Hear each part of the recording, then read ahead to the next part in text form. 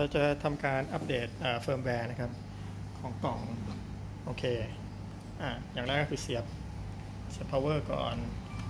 แล้วก็ต่อสาย USB เข้าคอมพิวเตอร์อ่าแล้วก็เปิดโปรแกรมอ่ามาที่ Easy มาที่โฟลเดอร์ของโปรแกรม Easy มา Pro ที่โฟลเดอร์ของโปรแกรม Easy Pro ได้ C แล้วก็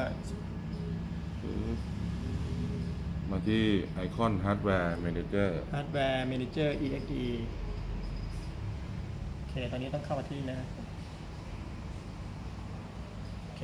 เข้ามาเรียบร้อยแล้วจะเจอหน้านี้ อ่า ให้ Connect อ่า Connect นี่มันก็จะเจอว่ามันเจอตัวกล่องอะไรอยู่อ่าโอเค ตอนนี้มันเจอกล่อง U7 อยู่ โอเคกดคลิกเข้าไปเลยคลิกเข้าไป อ่า พอคลิกคลิกเข้าไปเข้ามาปั๊บ อ่า แล้วก็ไปที่ ตรงคลิกเข้ามาปุ๊บมันจะมีไอคอนพวกนี้ มีไอคอนขึ้นมาหลาย ๆ อัน ให้เราอ่าเลือกที่ เลือกที่เราจะเซตเวลาเราจะใช้เวเลือกลาก็ที่ไปที่คล็อกก่อนโอเคอ่าไปที่คล็อกเสร็จเรียบร้อยปั๊บแล้วเราก็ไปเซตเวลาอ่าฮะอ่าแต่อันนี้มันจะแปลกๆหน่อยมันจะเป็นเลขภาษาไทยเลขไทย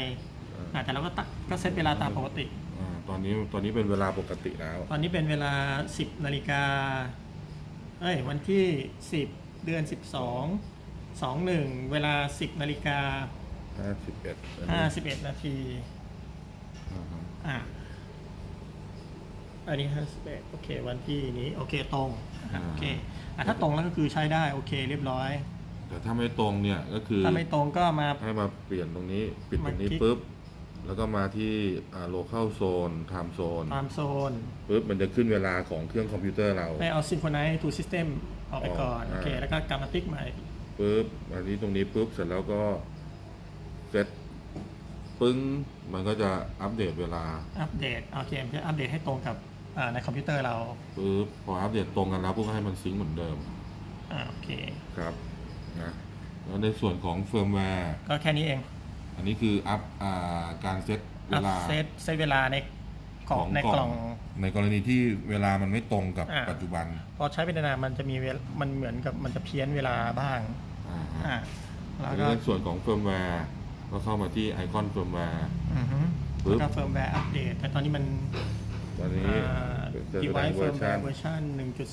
1.24 device firmware อ่า compilation date อ่าวันที่ตอนนี้ตัวนี้ตอนนี้ตัวนี้มันกล่องตัวนี้เป็นเวอร์ชันใหม่อยู่เวอร์ชันล่าสุดแล้วเวอร์ชันล่าสุดแล้วอ่าตอนนี้มันคือเวอร์ชันล่าสุดแล้วเราก็ไม่ต้องอัปเดตอะไรอ่าฮะเฟิร์มแวร์อ่าก็ต้องโอเคอัปเดตปึ๊บ โอเคครับจบ โอเค